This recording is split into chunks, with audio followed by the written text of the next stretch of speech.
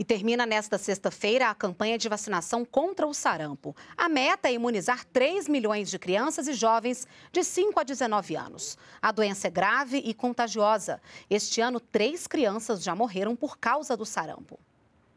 O retorno do sarampo, doença considerada até pouco tempo erradicada por aqui, surpreendeu o país e volta a preocupar. Só este ano, três crianças já morreram vítimas da doença. Os pequenos são os mais suscetíveis.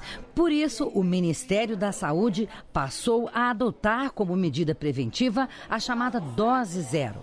Esse pai veio logo cedo trazer a Liz, de apenas seis meses, para tomar essa vacina. Com essa epidemia aí que a gente está tá sabendo aí do sarampo, né? Eu resolvi trazer para a gente ver se imuniza a criançada para não correr nenhum risco, né?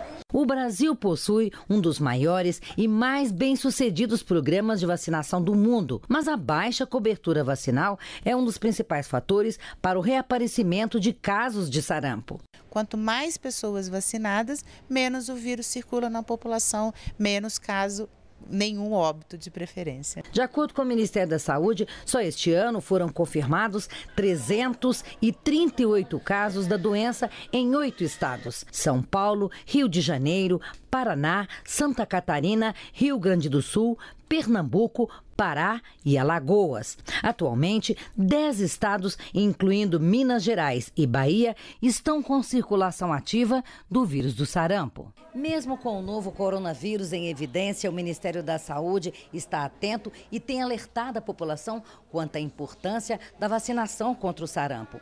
Uma única pessoa infectada pode passar a doença para até 18 pessoas que não estejam imunizadas. A transmissão do vírus ocorre via aérea, ao tossir, espirrar, falar e respirar. A campanha nacional de vacinação contra o sarampo vai até o próximo dia 13 de março e tem como foco a população de 5 a 19 anos. O João veio com o pai atualizar a caderneta. A gente aproveitou e fez uma vacina de febre amarela, que era a única que estava faltando. Então eu recomendo fortemente que as pessoas façam o mesmo. A campanha é um chamamento, é um alerta para que as pessoas atualizem seu cartão de vacina. A vacina ela está disponível nas unidades básicas de saúde. As pessoas podem procurar, mesmo, né, mesmo com o término da campanha, a partir da semana que vem, as salas estão funcionando normalmente.